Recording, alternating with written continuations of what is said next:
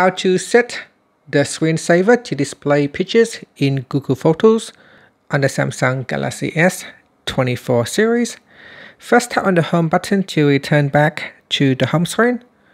And from the home screen, swipe down at the top, then tap on the settings icon. Next, in the settings page, we then scroll down and in here, tap on display. After that, we scroll down to the bottom and tap on screensaver. Now in here, you want to go down and tap on photos. These are photos from the Google Photos app. Then tap on the settings icon. In here, you'll be able to uh, set some general settings. So we can choose only use Wi-Fi for data. Uh, you can choose to fill the screen with photos. And you can also apply animated zoom effect or not. Now, if you go to the Google Accounts section, in here I have one account on my device and it will get photos from this account right here. As well as getting uh, displaying photos from Google Photos, you can also display uh, pictures from your local device. So in here, albums on device, a camera, pictures, uh, I've got WhatsApp, my holidays, and so on. So you can go down here and choose uh, photos from your device, such as when you are using the camera to capture pictures.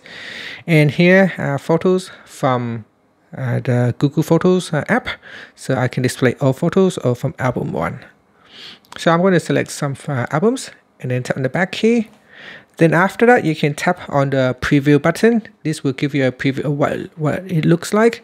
Now these are uh, screenshots that I have uh, just captured uh, just now. So this is uh, the, the pictures uh, from the screenshot. So you can see uh, in the screensaver, it will rotate the images around every few seconds. So the next one, we'll go to the next image. Now again, these are screenshots on my device that I have captured. And you can only activate the screensavers when you um, are connected to a charger So when you're connecting to a charger and when you go to your lock screen, uh, uh, uh after a while, the screensaver will switch on and from there you'll be able to view uh, photos uh, from your uh, Google Pictures or Google Photos. So once it is charged, then the screen saver will activate it shortly.